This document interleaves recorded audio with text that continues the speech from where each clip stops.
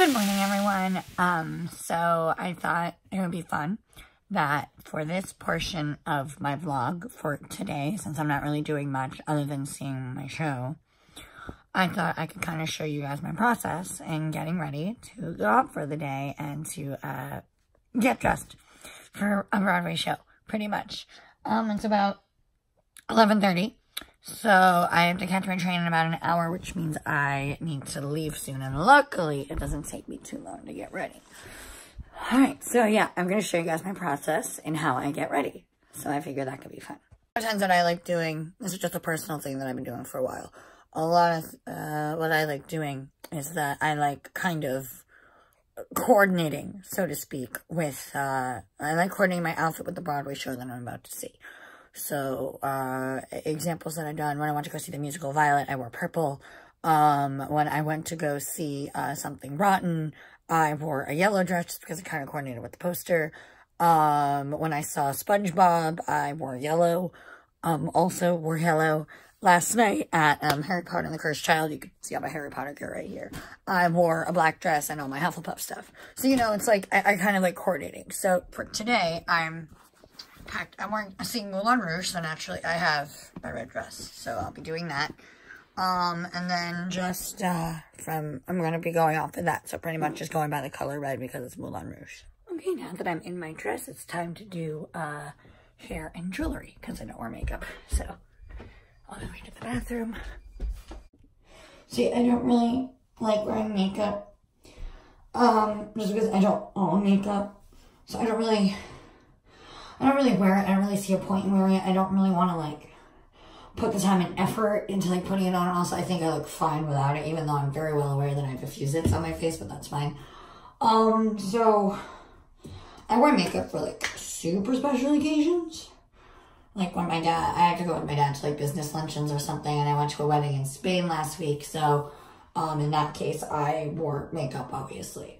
But, um, yeah, I don't own makeup. All I do, so that's why I have fun with my hair, with whatever little I do do with it, and then my jewelry. I do wear jewelry on occasion.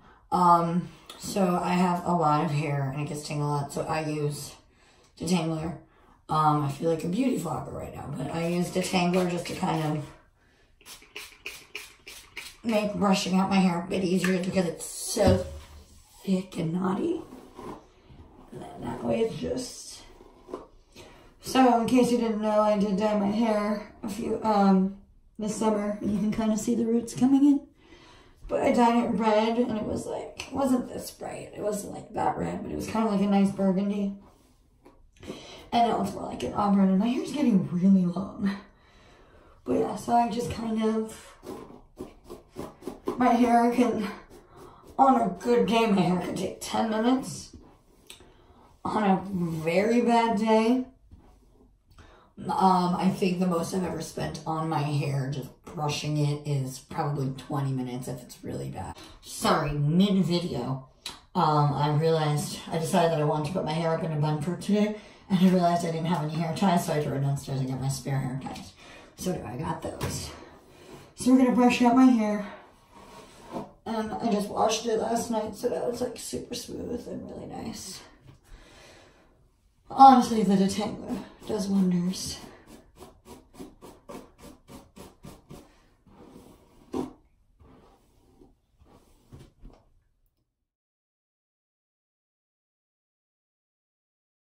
So hopefully that time-lapse video comes out, but here's my hair, nice and done up in a bun.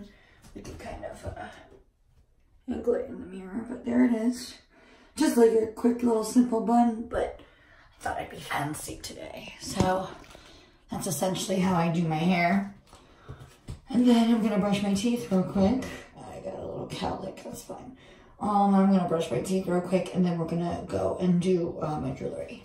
So I just realized what time it is, so I'm gonna kind of do this quickly before I have to head out to the train station. But um, one thing that I always do for jewelry is I always wear my ring, in case you guys haven't noticed in my other videos. I always wear this ring no matter where I go. I have red earrings, which I'm probably going to put on to go with my whole red theme. And um, one thing I always make sure I have with me when I see a show is some form of a jacket or cardigan. Because there was one time I saw a ballet with my grandmother and I didn't have a sweater and I was freezing.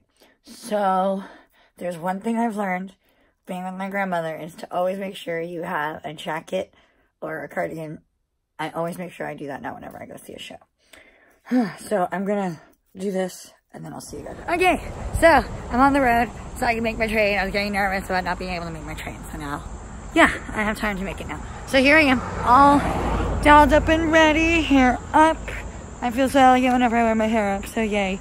Um, so yeah, I've got my earrings on, I've got my ring, um, I have my red flats because apparently I'm going all red today with the exception of my jacket.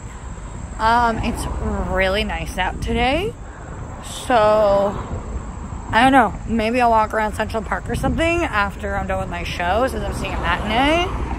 I don't know, but um, it's a beautiful day out, so I have no problem walking, and yeah, I'm just gonna enjoy myself and I'm really excited to see Moulin Rouge. I saw the movie once, like 2012. I don't know. Um, I, I vaguely know what it's about, but I've heard good things about it, and I figured like, you know, it's it's the movie's a classic, so if I had the option to see Moulin Rouge on stage, I'm gonna go see it. And Moulin Rouge was actually the last show that I booked for this week. I just booked it like two weeks ago. Whereas all the other shows I bought like throughout the last few weeks over the summer. Um, yeah, like Harry Potter I booked back in June. I also got my uh, Oklahoma tickets, I think sometime in June or July. Same thing with Beetlejuice. I think I bought Beetlejuice either in July or August. And then Moulin Rouge. Lightning Thief I just also bought like a few weeks ago.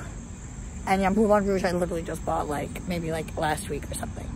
But uh, I'm very excited because, you know, I, I had today free originally and I was like, all right, do I want to see a show? Do I money to see a show? And I did. So yeah, I'm gonna go see Moulin Rouge tonight. I'm very excited. So really quick before the show starts, I just got here. My playbill's in color, which means all my playbills are gonna be in color this week, so yay. I cannot believe how elaborate this stage is, and hang on, I'm gonna flip it around. Guys, I am in literal awe. Look how pretty this is. And the windmill is moving. Oh my gosh, I'm really excited for this.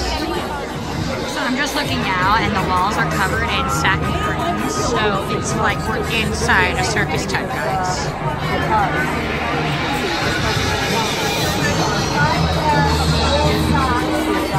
Also, like, mind you, I haven't seen the movie in like almost 10 years, so I low-key forget what it's about. But I'm still excited to see this. Alright, intermission. And I wanted to get the stage behind me really quick. And sorry, it's really red. But uh, this show's really good so far. I kind of forgot it was a jukebox musical. Like, I knew, but I like, didn't realize how much of a jukebox musical it was. So, um, for those of you that don't know, a jukebox musical is when they take a whole bunch of songs that are already like current in pop culture. And there we go, normal color and then they put it in a show. For example, Mamma Mia is songs all by ABBA. Um, I believe All Shook Up is songs by Elvis. You get the idea. And then, um, so, so far, really good. Here's the playbill now, proper coloring, proper lighting.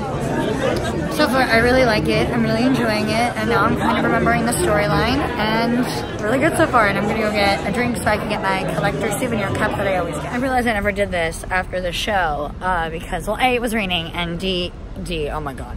A, it was raining, and B, I was doing the stage door.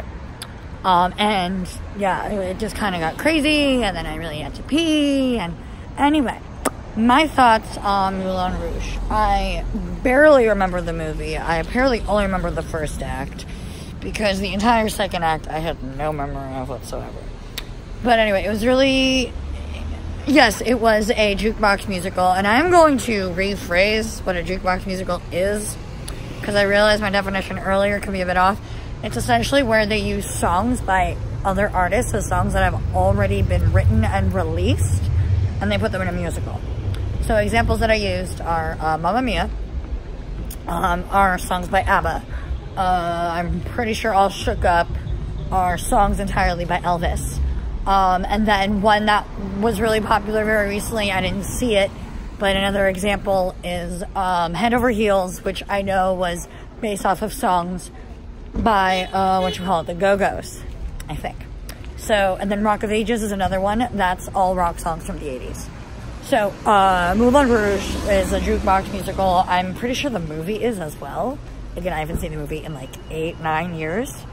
Um, so, I loved it. The set pieces were so elaborate and so intricate. And I haven't seen sets like that in a very long time. And I'm already predicting that for the Tony Awards next year, that Moulin Rouge is going to get best set design. Because if it doesn't, I don't know what's gonna because this was like top of the charts. I've never seen sets like this in a very long time. I think the last elaborate set I've seen was Wicked. And that's been out for like 15 years already. But anyway, the music was really good because, you know, they had like, you know, pop songs from like, you know, the 2000s and uh, 80s, 90s, today, like all that kind of stuff. And they had a little bit of everything. And they had songs that I knew were from the movie. They had that Elton John song, You Can Tell Everybody. So they had that one. I know that was in the movie. And then they had They Come What May, which I know was also from the movie. It was very good. Overall, very good. I was very satisfied with it. And I know they just announced that it's going on tour if the tour comes to Orlando, I will definitely see it again. So um, I give this 10 out of 10, five stars. Really good. I really liked it. Very fun soundtrack. Uh, you could tell that all the actors are just having fun on stage singing. So that is my review of Moulin Rouge. I am, since I saw a matinee, it's still early evening. As you can see, it's like twilight because the sun's setting. I'm walking home because I was kind of in a lousy mood for whatever reason on the train and I'm trying to get out of it. So I figured walking back would be better for me mentally than waiting and sitting in an Uber. Um, also, it's slightly chilly up, but hey, that's why I brought my jacket. Hang on, I'm crossing the street. But uh, yeah, so I'm walking home right now, and then I don't know what my plans are for the evening. They are still semi up in the air. I still have to make more concrete plans. But anyway, that is my review on Moulin Rouge, the musical, and I highly recommend it if you have the chance to see it. And also, today's performance was sold out, so I'm really glad I bought my tickets when I did. So if you have the opportunity to see it, and if it doesn't sell out, go see it.